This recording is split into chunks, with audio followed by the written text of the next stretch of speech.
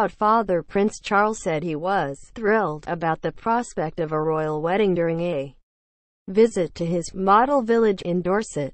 His visit to Poundbury today comes just minutes after he and Camilla announced via Clarence House that they were delighted about the upcoming nuptials of Prince Harry to his actress girlfriend, Meghan Markle. The couple, who have been dating for a year and a half, are set to tie the knot next spring and will live together in Nottingham Cottage. Charles said. Prince Charles told reporters today that the news was very good and added, thrilled for them both. They'll be very happy indeed. Single quote. He spoke at the start of a series of engagements in Poundbury and Dorchester, Dorset, which is built on Duchy of Cornwall land. The prince visited Damer's first school to meet staff, students and parents, and find out about their community and sustainability programs. He toured classrooms and went outside to meet children working in the school garden before unveiling a plaque to officially open the school.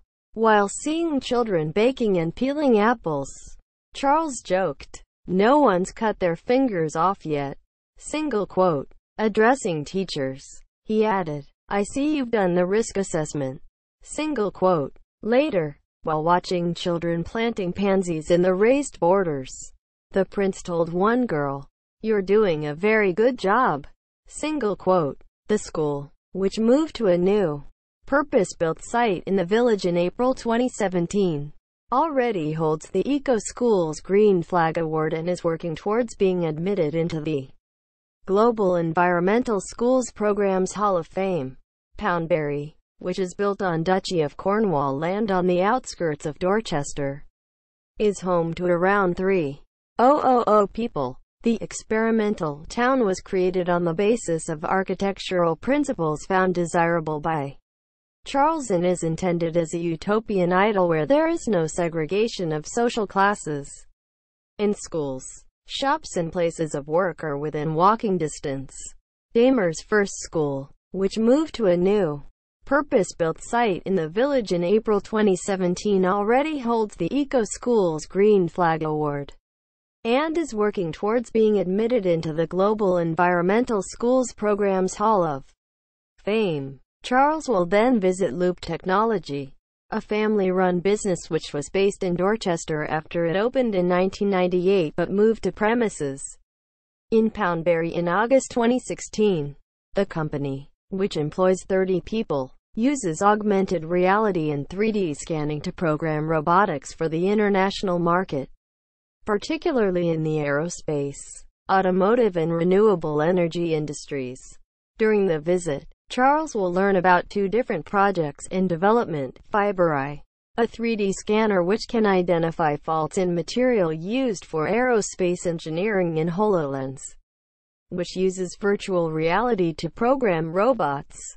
Poundbury has been created on the basis of architectural principles found desirable by Prince Charles. It is intended as a utopian idyll where there is no segregation of social classes. In schools, shops and places of work are within walking distance. The village's overall plan was developed in the 1980s by Leon Krier, an architect from Luxembourg, and construction began in October 1993. It is due for completion in 2025 and Poundbury will have a population of 5,000 people living in two 250 homes. Last year, building was completed on a replica of Buckingham Palace in the heart of his utopian village inn. A touching tribute to his late grandmother. The huge Palladian property sits in the heart of Queen Mother Square, the centerpiece of Poundbury in Dorset, which is owned by the Duchy of Cornwall. The grand building has been named Strathmore House in an ode to the Queen Mother's heritage. Her father, Claude Bowes-Lyon was the 14th Earl of Strathmore look familiar. Last year, building was completed on this replica of Buckingham Palace in the heart of his utopian village. In a touching tribute to Charles's late grandmother the neoclassical building features a large balcony with two majestic pillars and looks remarkably similar to Buckingham Palace, where the Queen Mother lived with King George VI until his death in 1952. It contains eight luxury flats worth £650,000 each, which have all been sold.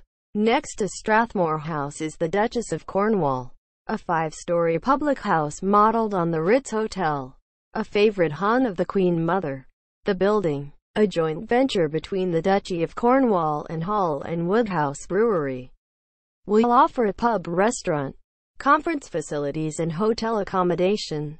According to the Hall and Woodhouse website, Prince Charles requested the venture be named after his wife. Another block of 20 exclusive flats and a spa is being built on the other side of the square and will be called the Royal Pavilion, named after one of the Queen Mother's racehorses. The finishing touch to the square will be a 10 feet tall statue of the Queen Mother. A large plinth has been put in place in the square in readiness for the installation of the monument, which is a second casting of the one of the Queen Mother in the mall depicting her aged 51 and wearing robes. Prince Charles was very close to his grandmother, who died in 2002 aged 101, and decided several years ago to honor her in Poundbury which is his 25-year experimental project to build a classically designed urban development on Duchy of Cornwall land.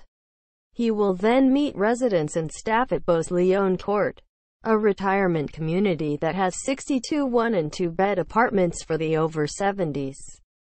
The properties are owned independently but residents are also provided with additional care and support by a qualified team on site 24 hours a day. Charles's model village is a mix of shops, cottages, townhouses and businesses built, reflecting his passion for classical architecture. Work began on the project in 1993, and the idea was to create an urban quarter of Dorchester which gave priority to people, rather than cars, and where commercial buildings were mixed with residential areas, shops and leisure facilities to create a walkable community. The royal wedding what we know so far it will be in the spring next year Harry and Meghan Markle will tie the knot. In spring next year. No definite date has been announced, but it is unlikely to be April when the Duchess of Cambridge is expecting her baby, more likely is March, or possibly May, for these royal nuptials. Romantic Harry popped the question while the pair were in London in November. William and Kate get on very well with Meghan Harry's brother William and his wife Kate issued a warm statement, telling of their excitement at the news. It has been wonderful getting to know Meghan and to see how happy she and Harry are together. The pair said, proud grandparents the Queen and the Duke of Edinburgh are delighted for the couple and wish them every happiness. A Buckingham Palace spokesman said, the Prince of Wales who announced the engagement, said while visiting Poundbury in Dorset that he was thrilled and very happy indeed. Harry and Meghan will live in London. American Ms. Markle has left her home in Canada to live in the UK. Their married home will be Harry's current base Nottingham Cottage at Kensington Palace where William, Kate, Prince George and Princess Charlotte also have an apartment and her parents are over the moon in an affectionate statement. Mr. Markle and Ms. Ragland said jointly, We are incredibly happy for Meghan and Harry. They added, We wish them a lifetime of happiness and are very excited for their future together. Harry and Meghan share the same qualities Ms. Markle's parents revealed. Our daughter has always been a kind and loving person. To see her union with Harry, who shares the same qualities, is a source of great joy for us as parents. Single quote.